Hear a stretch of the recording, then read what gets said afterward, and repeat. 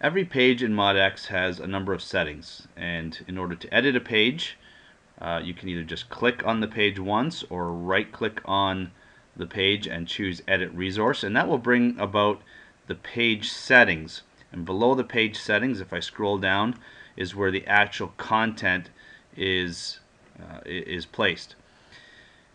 There are a number of settings and depending on your level of access you may see some or all of these uh, settings and again the descriptions might be a little different. It really depends on what's been set up for your user account.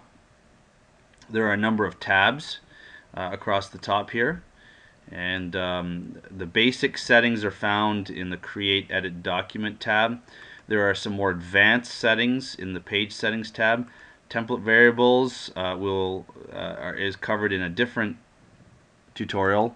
And then access permissions are based on whether or not you have user groups set up to access different pages and that's an entirely different tutorial as well.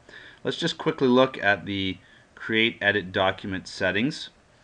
Uh, templates are set up in MODx to actually contain the layout of a website. So if I go and look at my uh, demo front end website here.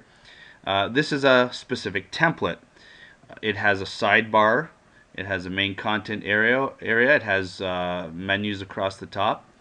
I might have another template that doesn't have a sidebar. Uh, I might have a template that has three columns. I might have a template that has some menus down the side. So templates basically structure your website and depending on the design, and the complexity of your site, you might have various templates. So this particular uh, drop down allows you to choose the temp template that you want for that page. Uh, a perfect example of a, a, template would be a blog post. Um, it might have different parameters to it.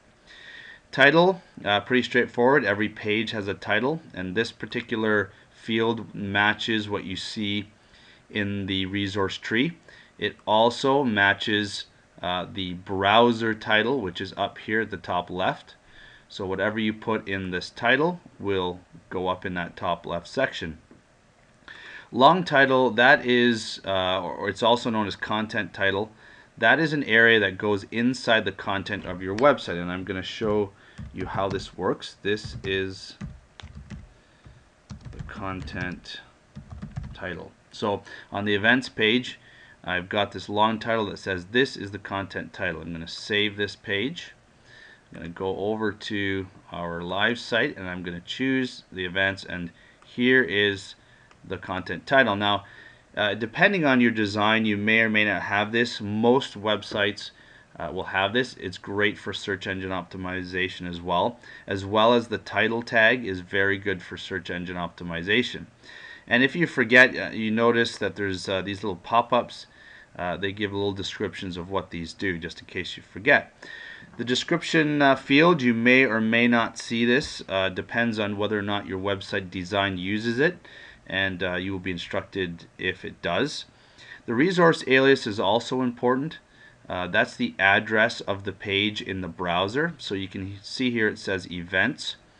And if I go over to my browser, I can see that it's called events.html. The system automatically puts in the .html, so you don't need to do that.